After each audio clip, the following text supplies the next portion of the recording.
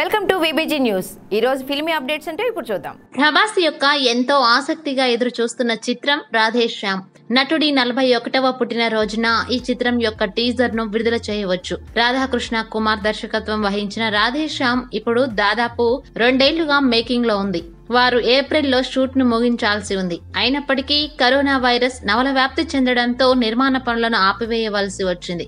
తాజా అప్డేట్ ఏంటంటే ఈ చిత్రం యొక్క టీజర్ను ప్రభాస్ పుట్టినరోజున అక్టోబర్ ఇరవై మూడున విడుదల చేయాలని చిత్ర బృందం నిర్ణయించింది. టీజర్తో పాటు సినిమా విడుదల తేదీని కూడా వెల్లడించాలని రాధాకృష్ణ కుమార్ నిర్ణయించినట్లు విన్నాం. దీనికి సంబంధించి అధికారిక ధృవీకరణ లేనప్పటికీ అభిమానులు నిజంగా స్టార్ పుట్టినరోజు గురించి ఒక నవీకరణను ఆశిస్తున్నారు. ఈ చిత్రం యొక్క ఫస్ట్ లుక్ మరియు టైటిల్ పోస్టర్ జూలై పదిన ఆవిష్కరించబడింది మరియు దీనికి ప్రేక్షకుల నుండి మంచి స్పందన లభించింది. ప్రభాస్ పుట్టిన రోజున అక్టోబర్ ఇరవై మూడున రాధేష్ శ్యామ్ టీజర్ను విడుదల చేయాలని చిత్ర బృందం నిర్ణయించింది. దీనికి సంబంధించి ఓ అధికారిక ప్రకటన వెలువడాల్సి ఉంది. మరిన్ని ఫిల్మీ అప్డేట్స్ కోసం చూస్తూనే ఉండండి విబీజీ న్యూస్.